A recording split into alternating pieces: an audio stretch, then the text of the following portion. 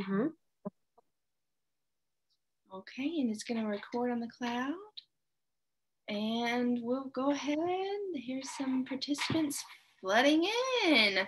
All right. Alrighty. Great. All right. Hi, everybody. Uh, we are recording this meeting and we will start in just a couple minutes. We'll see if there's anyone left to log on. All right, got some more people coming. That's great.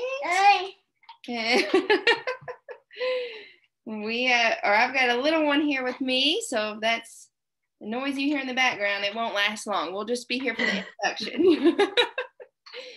uh, okay, some more people have joined. Good deal. Okay, so I'll go ahead and introduce myself. Um, I'm Allison. I'm a therapist at Turning Point, and today we have Hannah with us. She is going to be our presenter. Um, so, and we will get that going here in just a second. Oh goodness! this is Jones trying to make some noise here. Um, but yeah, so we are recording this meeting for um, everybody, so you, you can either go ahead and watch it again later or if anyone's not making it here live today, it'll be recorded, posted on our social media sites, and you guys can watch it then. Um, and we will also have a question, question and answer at the end of the session. So feel free as we go along to type any questions you have in there. And then at the end, we will answer those questions for you. We'll go through them. And that's about all my introduction. So I will go ahead and send it over to our presenter, Hannah. She is a physical therapist at Turning Point. All right. So, yeah, um, thank you everybody for joining. As Allison mentioned, um, I'm Hannah. Some of you might be my patients, and so if I repeat anything that I've already told you, my apologies in advance. Uh, but I'll be presenting uh, on exercise and its effect on inflammation. So, let's see um, my objectives, my hopes for by the end of this lecture, uh, that you'd be able to understand the role of inflammation within our immune system, what it's supposed to do, uh, understand, understand the effects of inflammation on cancer and its role in cancer, uh, and to be able to kind of tell folks the effect of exercise training on those inflammatory properties or on the uh, inflammatory um, system, I guess, the inflammatory cells. So also I'd like to be able to describe the effects of the different types of exercise on inflammation. So there's lots of different exercises out there, lots of different um, gyms and schools of thought. So we'll go through a little bit of what each one looks like and how it has uh, an effect on inflammation. So for the first part, understanding inflammation. Um, I'm going to talk about the phases of healing. Uh, there are three phases of healing.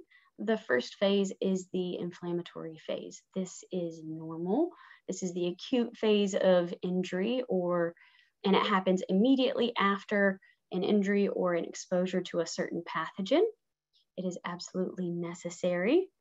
And it's usually kind of the first week and it's characterized by four signs. So I have them here just because uh, they kind of rhyme and they make sense that way. Calor, rubor, tumor, and dolor. What it basically means is that's heat, redness, swelling, and pain. So those are the four cardinal signs of inflammation or being in that inflammatory phase. Uh, now, your blood vessels will immediately vasoconstrict or contract as an effort to protect our body after an injury or exposure, right? But then they're going to dilate, allowing more blood flow and access to that injury or exposure site. That way, all of our cells can do what they need to do during that inflammatory process. That includes phagocytosis, which is uh, basically kind of the reabsorption of other cells, foreign cells, or debris by our immune system. Um, and now it can also absorb any damaged cells in our body, which will also be important when we talk about cancer care later on in the lecture. You see these little guys down here at the bottom uh, to help you remember the four signs there. All right, so I like this photo just because it gives you a nice visual example of what I just kind of talked about. You've got a splinter here and it has punctured the skin, introducing all this bacteria to the area. Well, what our body's going to do, it's going to initiate that inflammatory response. We have that injury site, and then it's going to rush cells to this area. So you can see kind of down here where this kind of yellow tract is, those are our vessels. And you can see where it's kind of starting to form a clot in that area to keep us from, from bleeding. And then these cells here, uh, these phagocytes here are kind of acting like little Pac-Man for the bacteria to reabsorb them and keep our body safe. So they're gonna get at those dead cells and some of that cellular debris there. Okay. So now don't panic. I know this is a uh, quite a few graphs here. Um, there's lots of phases listed, but I really just put this slide here to give you an idea of normal reaction times to the injury or exposure.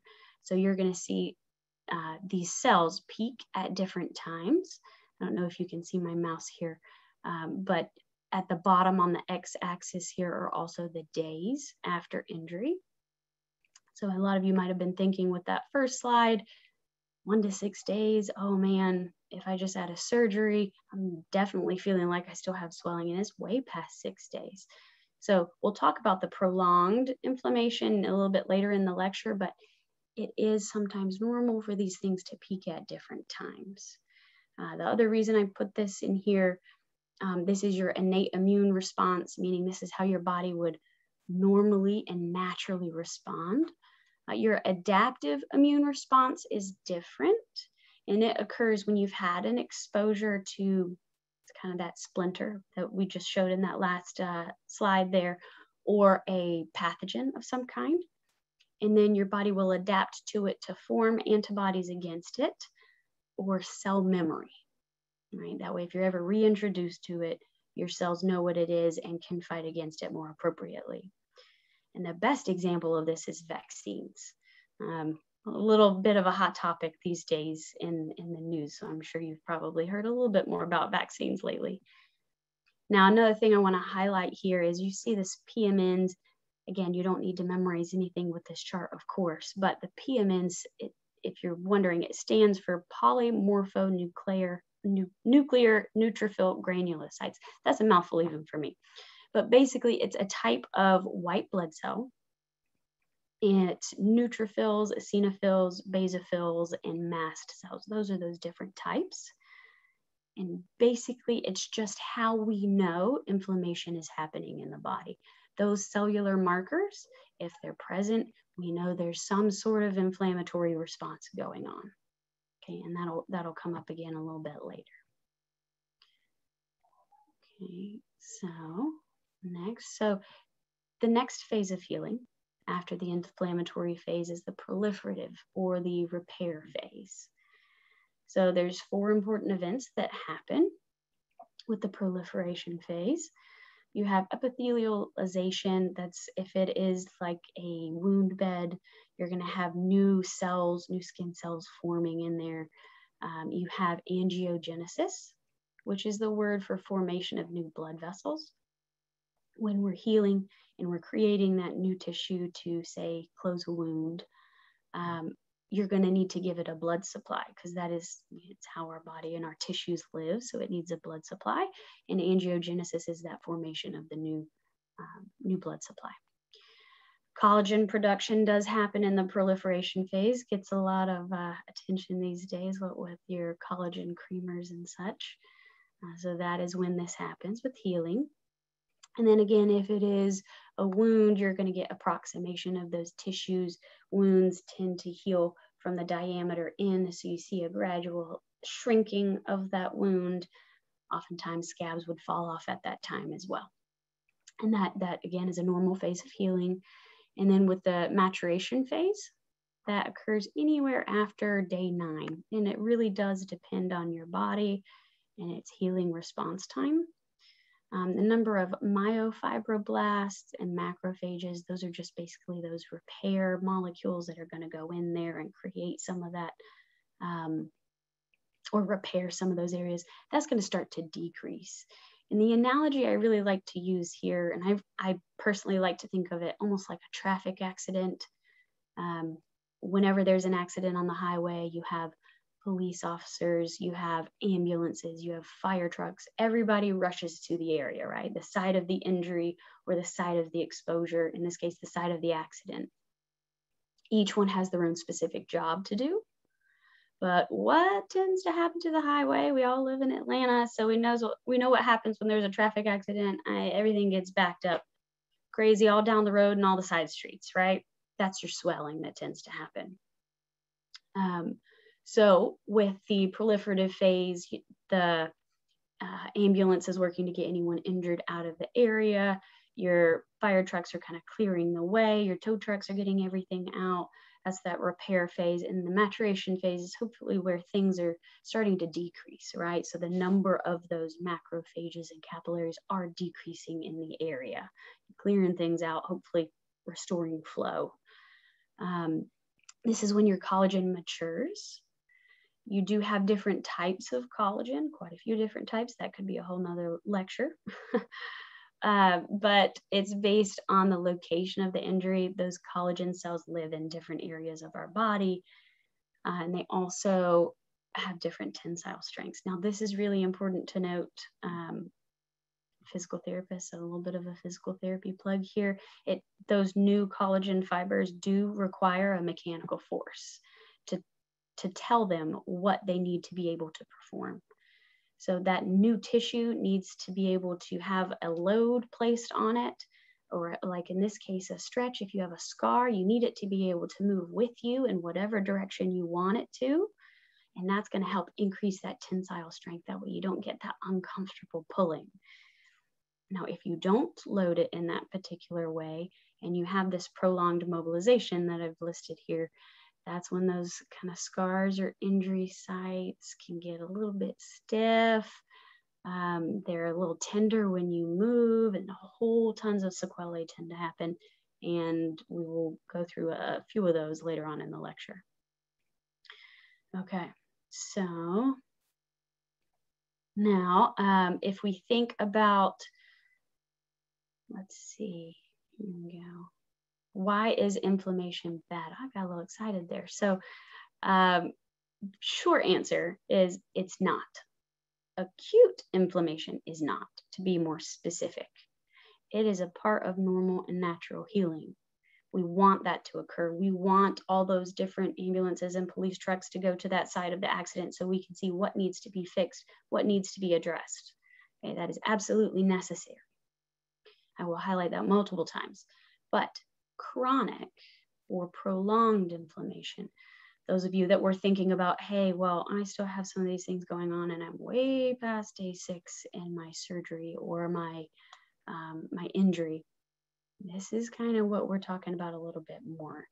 And, and really that day six can be wiggled a little bit, so don't panic about that part. But the chronic and prolonged inflammation for extended periods of time, and for some folks, we're talking about years here, um, if we think about what inflammation is, with its increase in swelling, vasodilation, so like ballooning in that area, the presence of all those PMNs that I mentioned, those phagocytes that like to eat, right? And the inability to progress to those later stages where those important things like collagen lay down and, and loading of fibers happen, if we're unable to get to the, those phases, this list tends to make a little bit more sense if you think about it. All right, you have cancer, diabetes, cardiovascular disease, arthritis and joint disease, allergies, and then COPD. Those are some, some pretty heavy hitters in, in terms of health conditions in the medical community. And if we are stuck in that pain cycle and that swelling and that inflammatory phase where muscles and joints are unable to uh, function optimally, this is why inflammation gets a bad rap. And this type of inflammation is bad. Okay. So, and um, it's important to note in terms of this list together, these diseases are the most significant cause of death in the world. So, yeah, chronic inflammation can be a big deal. Okay, so what causes inflammation? So, failure to eliminate the agent causing an acute inflammation, that seems to make sense, right? Uh, these are things like if you think about maybe a parasite, for example, living in your gut, you're unable to get rid of it. Uh, that is gonna, you're gonna have a hard time eliminating it and it's gonna continue to cause that inflammation. Um, prolonged exposure to low levels of an irritant, things like your chemicals, um, you've seen probably in the news water, um, and whatever is in the water, if you're having that prolonged exposure to that irritant, you have a long period of time and it builds up in your system, that can be a trigger for chronic inflammation. Now, there are autoimmune disorders that also tend to pair with chronic inflammation, uh, specifically things like lupus, RA, um, or rheumatoid arthritis, excuse me, uh, those are autoimmune disorders where uh, cells are being attacked repetitively, causing you to stay in that inflammatory cycle for long periods of time. So that makes sense, right? You're going into that chronic phase of inflammation. There are cellular defects that can happen. Um, these are specific kind of auto-inflammatory disorders, not to be confused with autoimmune, uh, where certain aspects of the inflammatory process um, are altered right? So we don't have certain aspects or you're missing certain that can cause you to be in chronic inflammation. You're missing a piece of the puzzle, like you're missing your ambulances. You can imagine there'd be a few things go wrong if that happened. Um, recurrent episodes of acute inflammation. This uh, also seems to make sense a little bit.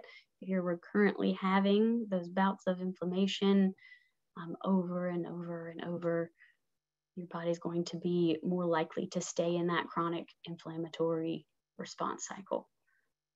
And then obesity. Now, this one's a very interesting one in that uh, with obesity, it's kind of a positive feedback loop. So it's particularly difficult to address or get rid of sometimes when it has an inflammatory link to it.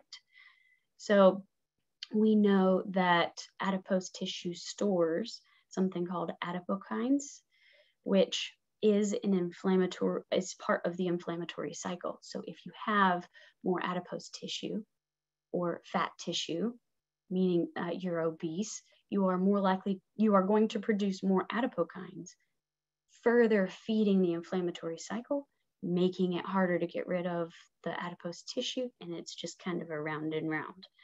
So any of you struggling with weight loss, there may be a component here um, that might need to be addressed. If you've tried lots of things over and over and over again, and it doesn't seem to be working, maybe there's a link. Right? And maybe if you try something different addressing that link, that could be really helpful in that process and that journey and for reducing chronic inflammation, which now I'm going to uh, talk a little bit more about inflammation and cancer. So diet also does play a role in inflammation and uh, chronic inflammation to be exact. Uh, I'll, I'll speak more towards the exercise side of things later, um, but it is important to address it. Um, maybe your geography in this case, if your uh, work or home is right next to fast food restaurants and things like that, the ease of it sometimes gets us. Uh, but I'll talk a little bit more now about the link between inflammation and cancer. So um, chronic inflammation and cancer. We've discussed on the previous slides that chronic inflammation does have a link to these health conditions that are listed here, right? So diabetes was one of the ones on the list. If you're in chronic inflammation, you're more likely to develop diabetes. And diabetes is linked more than nine types of cancer. That blew my mind a little bit. I don't know if that blows your mind um, linked to obesity as well. And obesity is linked to more than 13 types of cancer. In addition to producing some of those adipokines, uh, adipose tissue can store hormones as well. There are hormone driven cancers. Most of you are probably familiar with one. Breast cancer can be one hormone driven cancer, prostate cancer, all sorts. So, 13 different types of cancer are linked to um, being overweight or obese. Now, the human papillomavirus, that one's gotten some attention because there is a vaccine for it. Um, vaccines are actually used in some of the studies I'm going to discuss. I'll highlight that later. But the human papillomavirus does have a link to cervical and head and neck cancers. So that virus, that inflammatory response triggered by that virus, has a link to developing these cancers. Now, with urinary tract infections, I mentioned the recurrent exposure to inflammation in a particular site can um, cause an increased risk of developing cancer. So, urinary tract infections are a good example of that. It urinary tract infections do have a link to urinary bladder and colon cancers. And this isn't to say if you get one UTI, you're going to be more at risk for these things. Uh, this is more of a recurrent basis that's discussed in the literature with urinary tract infections. Okay, so um, how? How does chronic inflammation cause something like cancer? That seems to be a bit of a biggie. And while I discussed it's linked to diabetes and um, health conditions like that, and they're linked to cancer, um, I'm going to discuss a little bit more kind of cellular um, components of how it is linked scientifically to cancer. So this is actually a well-documented link. It was first discovered by a German physician in 1863. So it's this link has been been around for some time. Uh, and this gentleman discovered a link between chronic inflammation and then malignant cell transformation. So that's that switch that gets flipped in a cell to cause it to rapidly divide. Um, we know cancer is the rapid uncontrolled division of cells. So when that switch gets flipped, that's kind of what's focused on here. There is there is a correlation between chronic inflammation and that switch being flipped for cell malignancy. Now, when you're in chronic um, inflammation, the epithelial and inflammatory cells produce free radicals. Free radicals are basically um, unbonded oxygen molecules. So, not to get too much into the chemistry here, but unbonded oxygen molecules are very volatile. So, when they bump into things, um, they have a high polarity. So, you can think of it like a magnitude lots of magnetic pull. So if it bumps into things, it's more likely to, uh, and since it is free floating, it does tend to bump into things. Uh, it can cause those molecules to separate from what they were previously attached to and bond to that oxygen molecule because it's so attractive, it's so magnetic. Um, now, you've probably heard of antioxidants. Antioxidants, free radicals, are free floating oxygen molecules.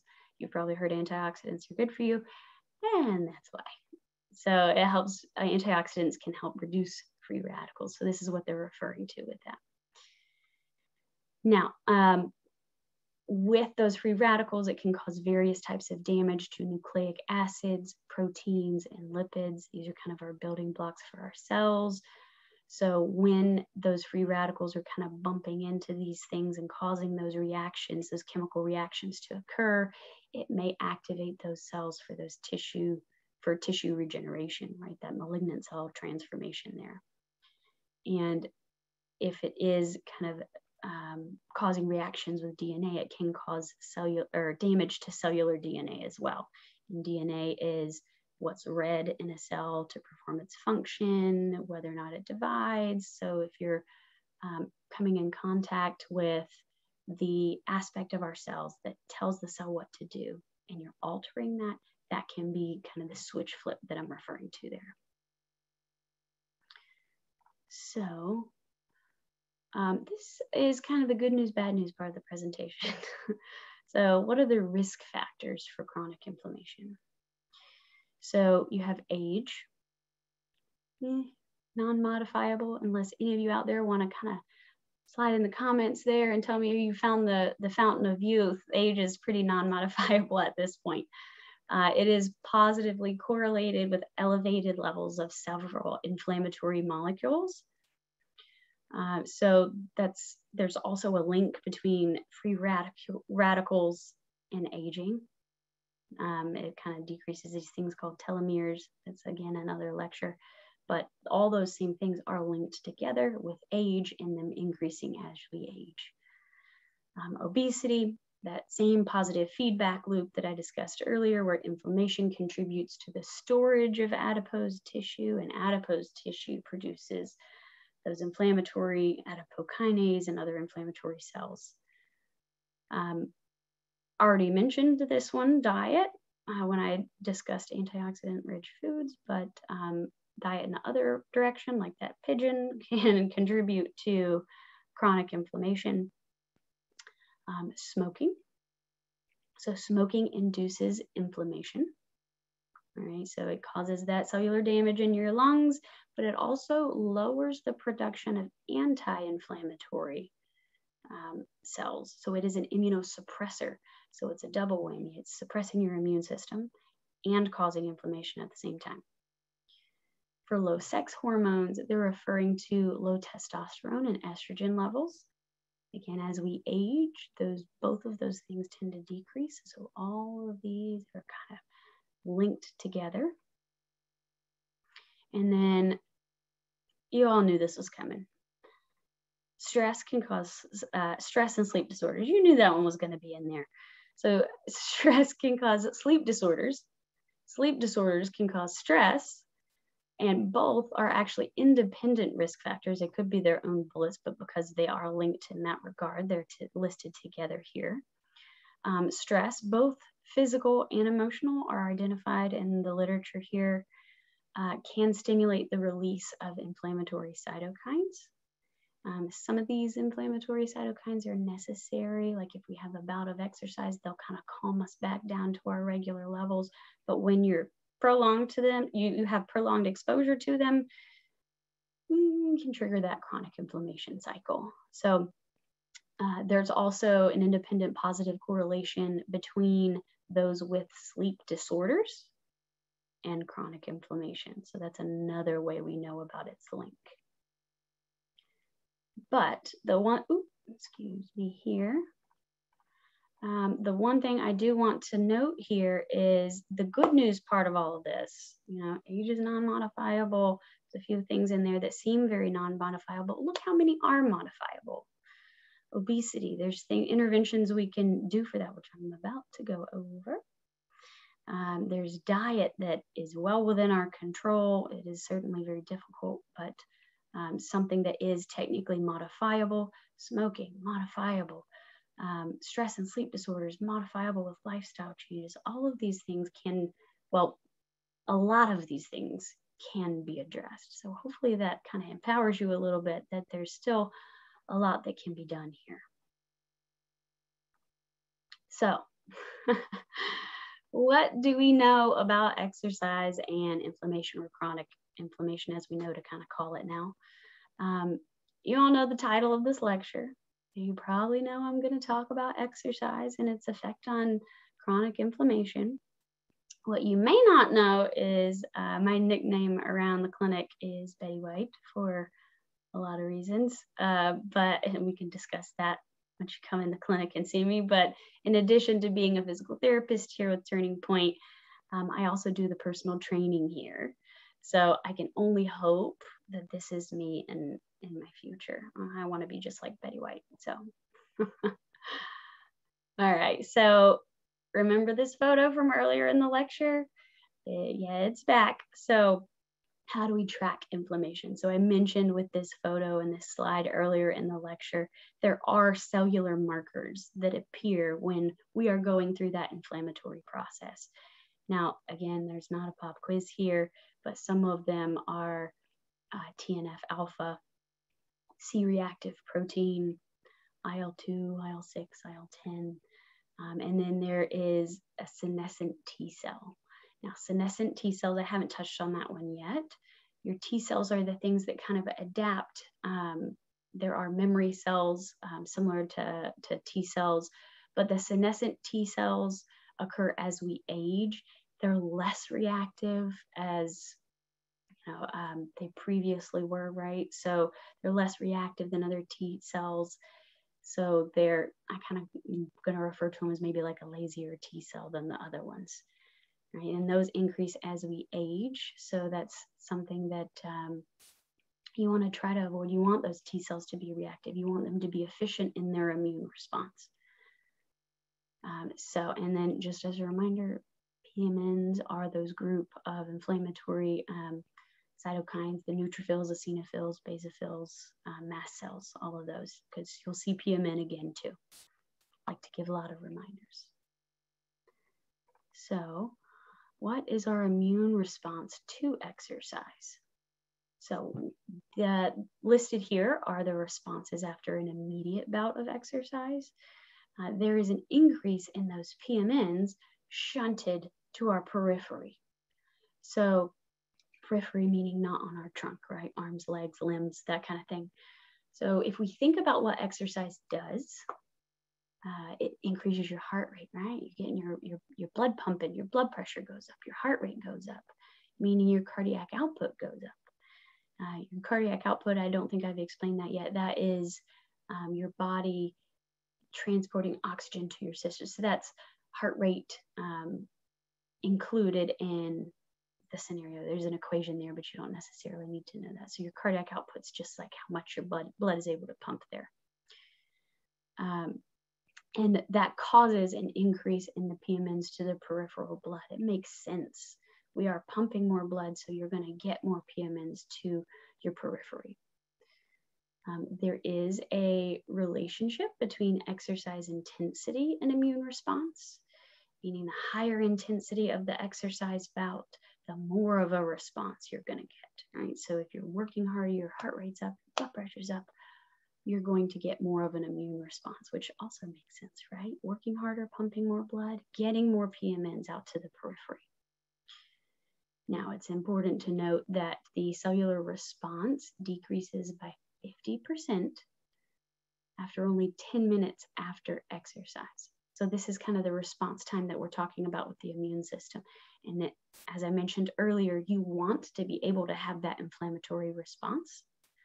You want to be able to trigger that response, have it be efficient, address what needs to be addressed, get at, and move into the next cycles, right? So this is showing that you may increase those PMNs, but they don't necessarily stay there. You're not going to get stuck there in that chronic inflammatory cycle by exercising uh, because they are shown to decrease 10 minutes after. Now, um, the most, it also shows after a bout of exercise, most differentiated cells are the most responsive.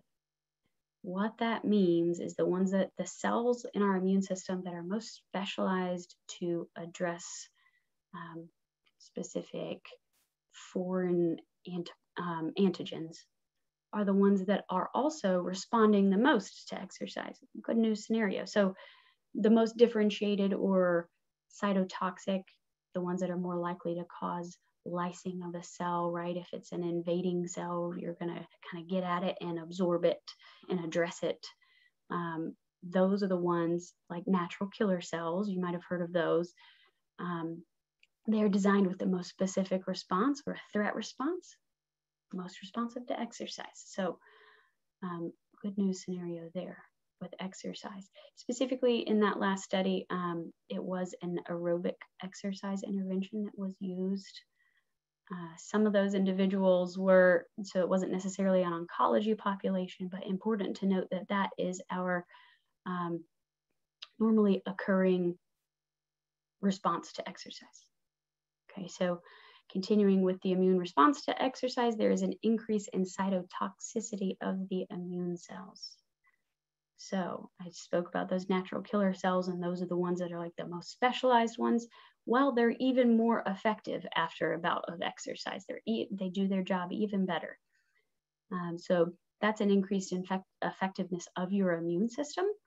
and it maintains this effectiveness one hour after exercise. So when you're walking around with that exercise high, it's not just because you feel good and you put in a lot of work and got a good um, bout of exercise. You're also your immune system is more effective then too. So you also have an increased ability of those T cells that I mentioned to produce anti-inflammatory cells. So these T, T cells are more productive right? They're going to produce more anti-inflammatory cells to address any lingering inflammation in the body. And then on top of all of that, if that wasn't enough, there's an increased activity of the innate immune system. So that's that acute response with those mast cells. Uh, so you're going to be more likely to uh, respond, and those are more active after exercise as well.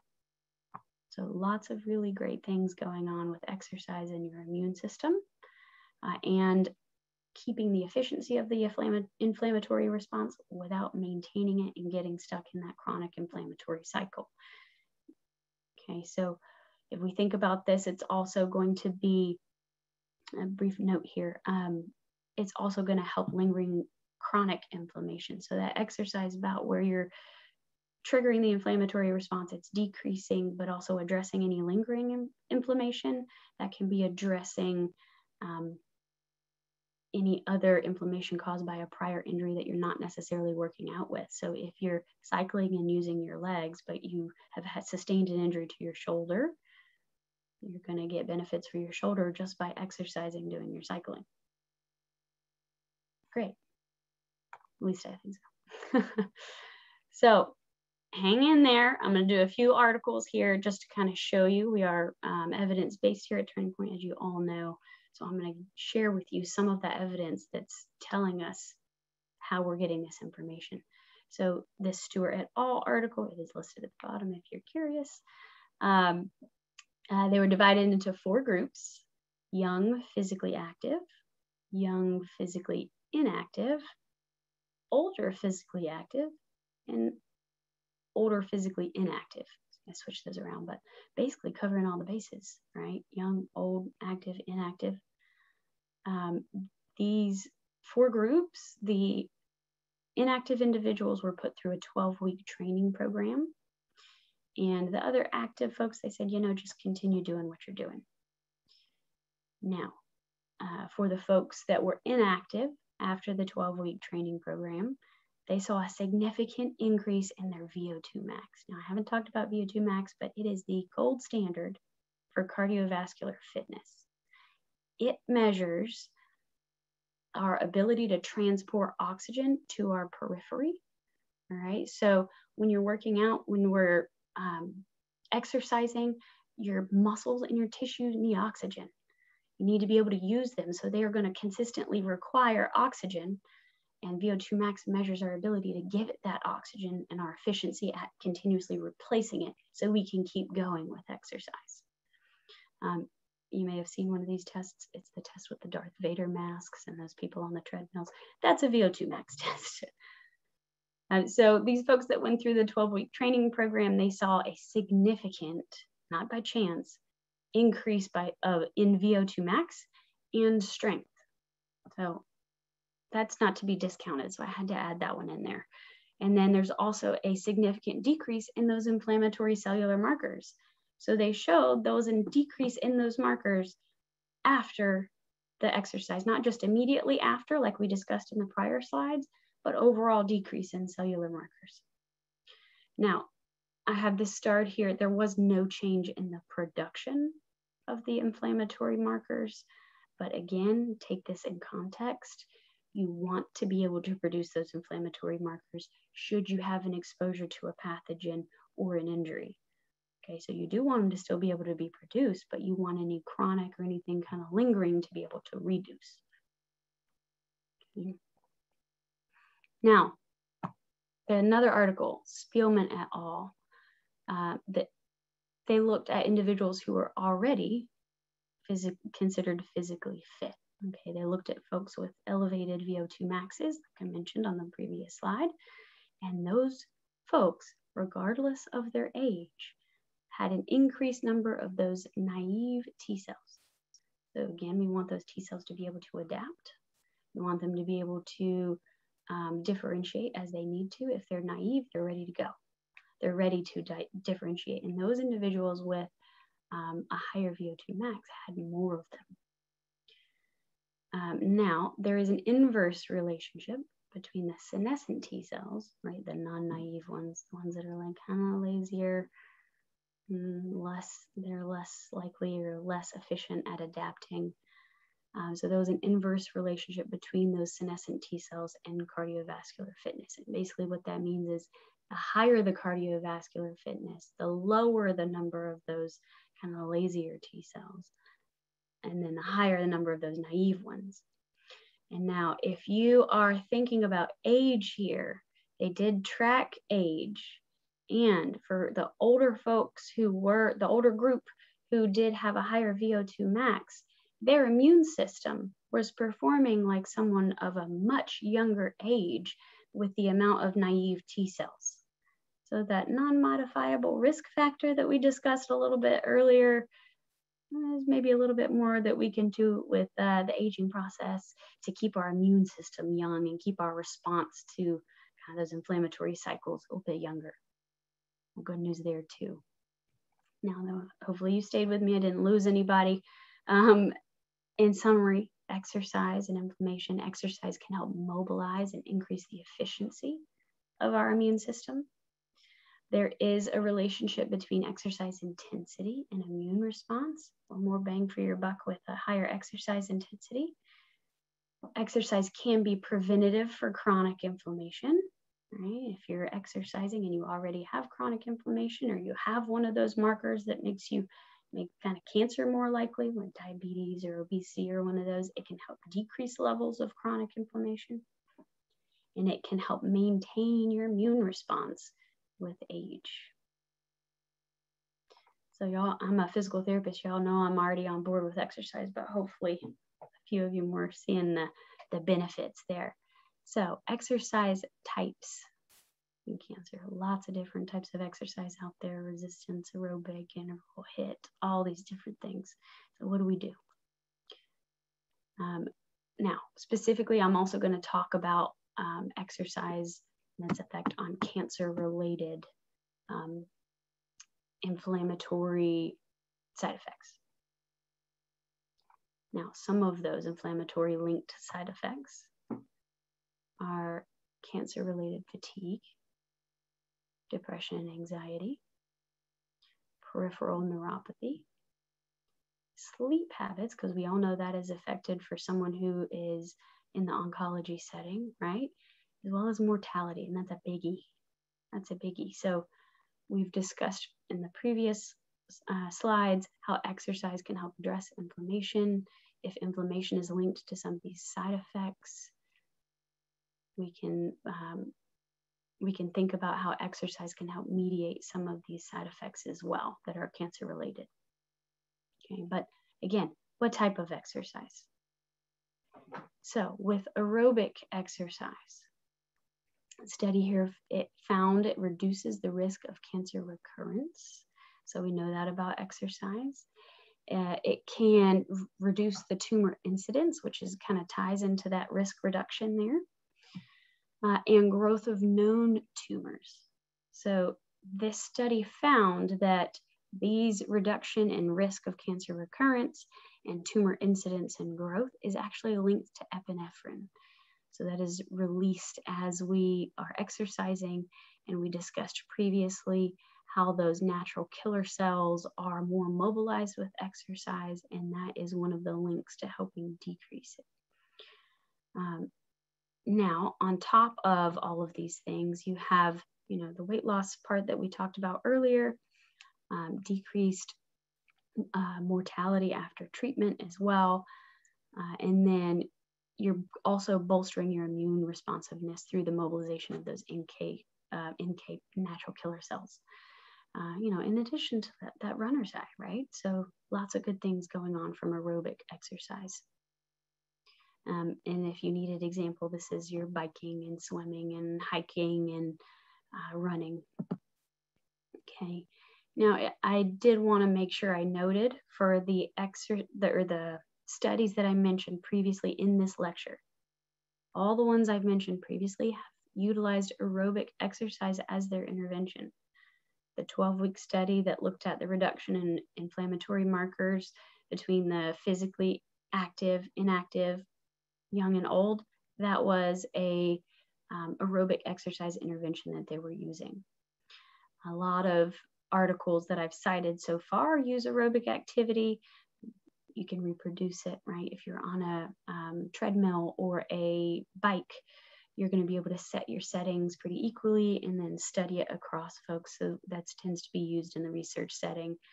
Um, they're in one place, so measurements are easier to take, and it is um, generalizable, right? If you say go go for a run, go for a uh, um, go biking, that's not a specific way we do that. There's a reason they say it's like learning to ride a bike or um, just remember it. So it's fairly generalizable across the population.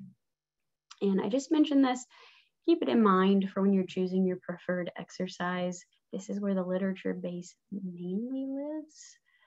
Um, we'll talk about resistance exercise as well. But again, the previous articles that I listed did have a non-oncology population. So let's talk about the oncology population. So in the study Mills et al., there were 53 postmenopausal breast cancer survivors. It's a randomized controlled trial. So there's an experimental group and a control group. And the exercise group participated in a 15 week moderate intensity training program. Okay, and that's a stationary bike, again, aerobic, three times a week. At the end of this program, their markers were measured again, and they had a statistically significant decrease in those inflammatory markers. I believe this one was TNF alpha that they looked at. Uh, so this is with postmenopausal breast cancer survivors. So it does apply to our population. So now we'll talk a little bit more about resistance exercise. And yes, it is still Mills et al. This guy's a very, or this scientist is very busy. So with resistance exercise in this study, 39 breast cancer survivors uh, were included in the study. Again, a randomized controlled trial, experimental group, the exercise group participated in a 16 week moderate intensity training program. So this is resistance training specifically. Uh, and it is three times per week. So it was the same kind of frequency as the previous one, but they also saw a statistically significant decrease in inflammatory markers as well. So good news coming in for the resistance exercise. Um, one thing I will say is it is less consistent in the literature base, uh, just because if you if I'm asking you to do resistance exercise as a therapist, I may ask you to do a row. I may ask you to do a squat. You may be doing a leg. There's a million different exercises you can choose. And unfortunately, that has not been generalized across the research base. So it's hard to compare them apples to apples to see. Um, also, the timing of when they take the inflammatory markers is different before the bout of resistance exercise or after. So, more research is really needed to study. Um, but preliminarily, uh, research or resistance exercise does have a positive effect on the reduction of inflammation specifically in cancer survivors as well. Um, and then a little brief note here, eccentric exercise is more, it um, has more of a research base and it does produce similar increases in the PMNs to the periphery compared to the aerobic exercise. Um, so eccentric exercises, um, we can get into that maybe a little bit later but eccentric is basically trying to contract a muscle while it's lengthening. So if you think about a bicep curl, normally it's this way. Eccentric would be if I am asking you to resist me and lengthen at the same time. Again, we can go over that later, but it's a specific type of exercise. Ah, so if any of you have been through the personal training, you know I'm a fan of interval training. Uh, so I had to include this one in there. Uh, in this one, there were 40 breast cancer survivors studied. Now, there were three groups in this one. This was a 12 week high intensity interval training, those HIIT exercises that get all the uh, buzz and then a moderate intensity continuous training. So the interval is referring to your on cycles with exercise versus your off cycles. The moderate intensity continuous means they kept going. It wasn't a high intensity for a short period with a rest, in case you were wondering. Um, and then there was the control group that did not receive the exercise intervention to be clear. Now, they measured body composition in this article, physical fitness, and cellular inflammatory markers. Now, both experimental groups significantly decreased their cellular markers, their cellular inflammatory markers. So with interval training, it worked too, but of note here, the HIIT group, the changes in that group in terms of inflammatory markers were the most significant. So this is what I was referring to earlier when I talked about that dose-dependent relationship with exercise intensity. The more intense it is, the more benefits you get. Unfortunately, it works that way. Uh, now, also of note, the body composition, the physical fitness also improved, but kind of a sidebar there. Because we're talking about inflammation. So, in summary, again, we went through the literature there. Um, the types of exercise, the effect on inflammation is intensity dependent, that dose dependent relationship. Um, inflammation is reduced with aerobic resistance and interval training. So across the board, we still saw those that decrease in the inflammatory markers. Exercise can increase the efficacy of cancer-related treatments. So this is going back to way earlier in the lecture when I talked about angiogenesis. Exercise helps with angiogenesis, the formation of new blood cells. Um, if we are forming new blood cells to first say for instance a tumor site that is more going to more effectively transmit the chemotherapeutic agents to that tumor making it more effective okay so that was studied in one of the previous articles it does increase the efficacy of those cancer related treatments. But more consistency is needed on resistance training prescription moving forward to get a larger base of, of information there. All right, so bringing it on home. Acute inflammation is normal and necessary, while chronic inflammation is linked to the development of serious health conditions, cancer included. Chronic inflammation is linked to certain cancers and cancer risk factors as well. Right, kind of those two kind of go together. And then exercise can reduce inflammatory markers in the body, uh, specifically the chronic ones, decreasing your risk of chronic inflammation. And exercise can improve cancer treatment efficacy, reduce risk of occurrence, and improve quality of life. I, I had to put the exclamation point in there. Sorry, I had to do it. So that is the end of the lecture there. Um, since you all can't speak, there's a little, little applause. But if you have any questions, please feel free to go for it. I am happy to answer anything that I know the answer to. and if not, I promise I'll look it up. We do have one question, Hannah. Okay. So far. Um, Diane is asking how long on the bike during the three times a week study? Um, are you referring to the one specifically for oncology survivors? Sorry about that. Um, let's go to, ah, for the bike here.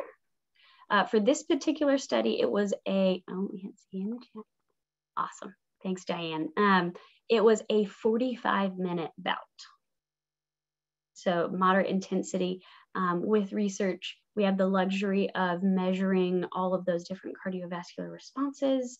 So they were able to dose it um, to each person to stay within a certain percentage of their heart rate max. That way they're keeping it even because we're all a little different. We're all different humans walking around.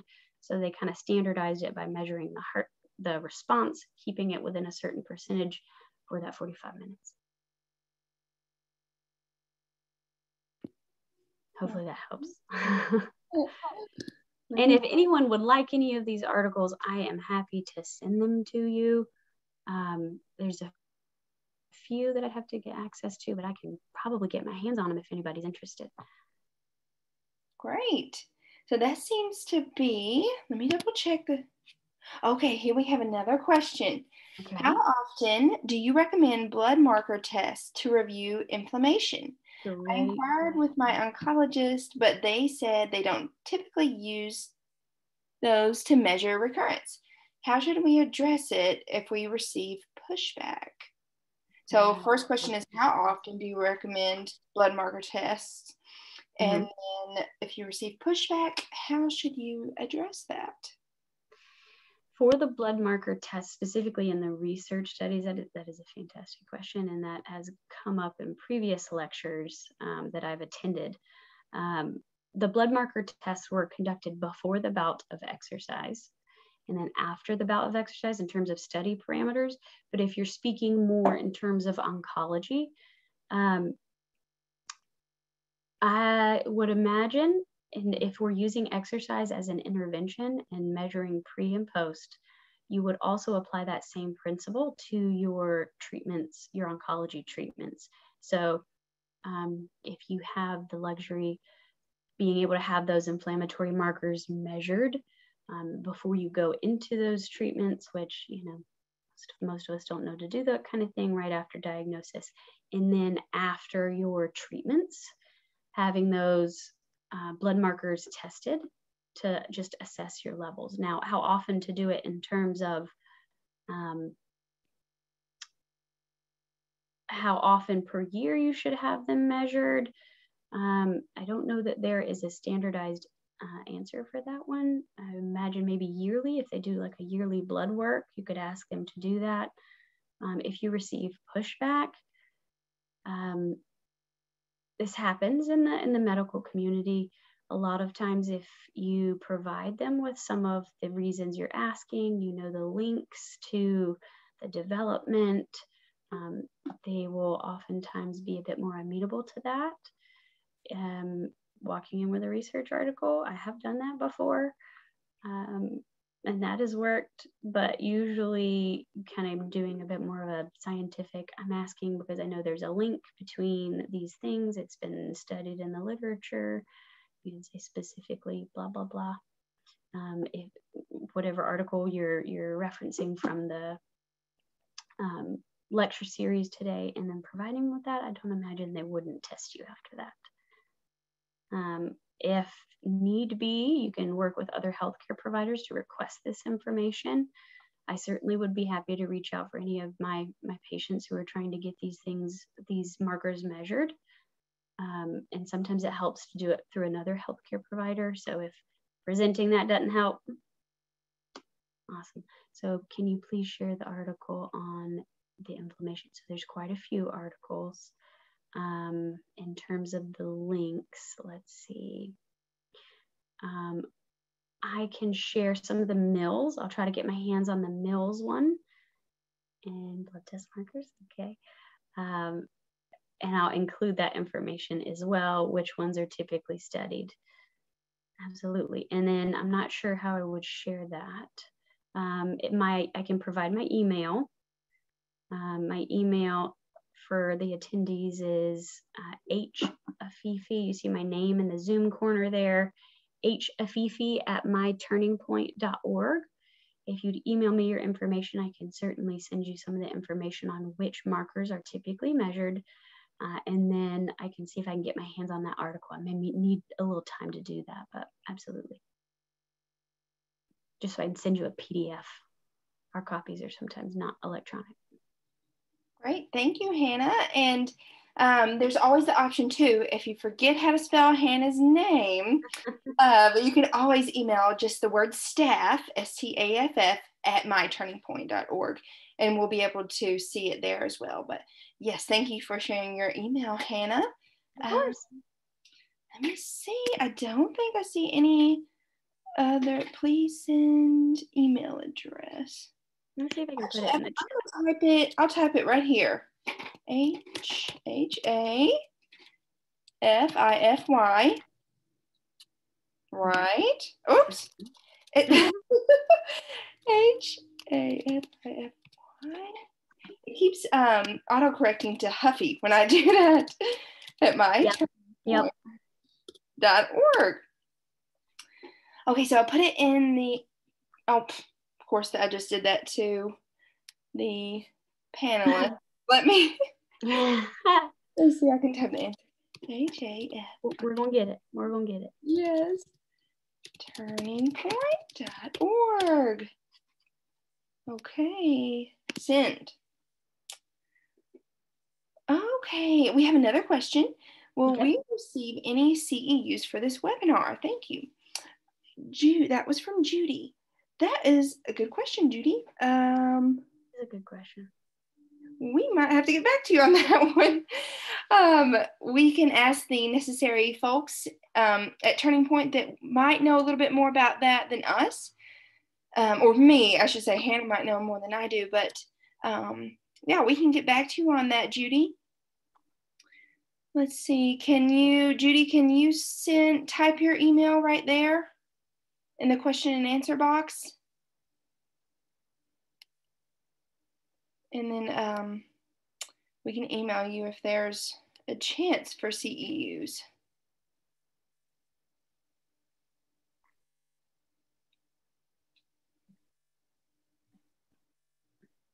Okay. So we'll wait for, oh, there we go. I'm just going to copy your, whoops, email, maybe.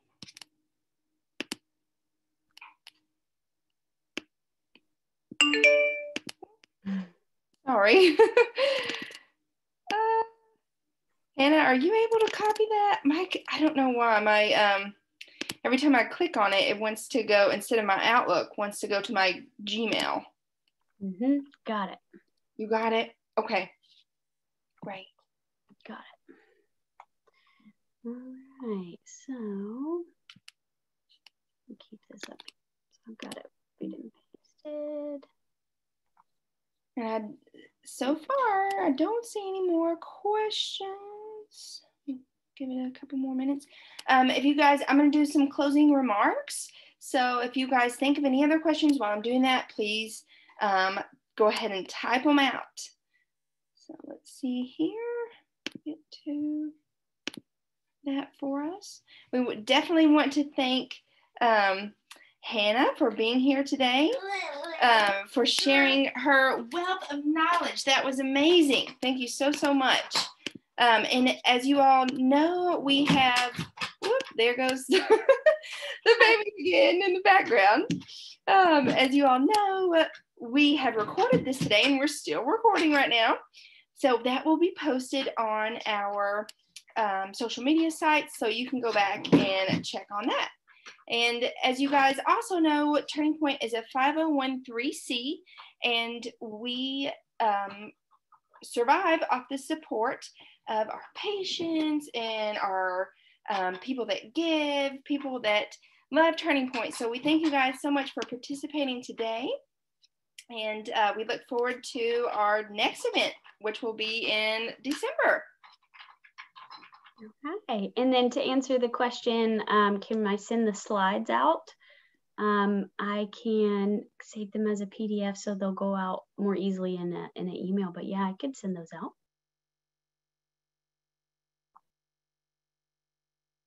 Um, I'm not sure. I probably talked to Aurelis about sending that out to attendees. Okay. Great.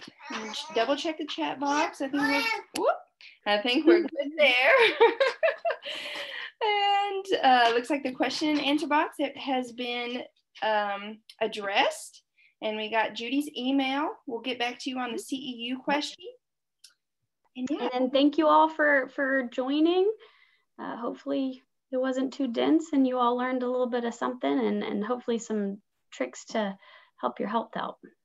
Yeah, yes, we certainly did. Okay, well, thank you again, Hannah. And we will see everyone next month at our next webinar. And I hope everyone has a wonderful Thanksgiving next week. Absolutely. All right. Bye, everybody.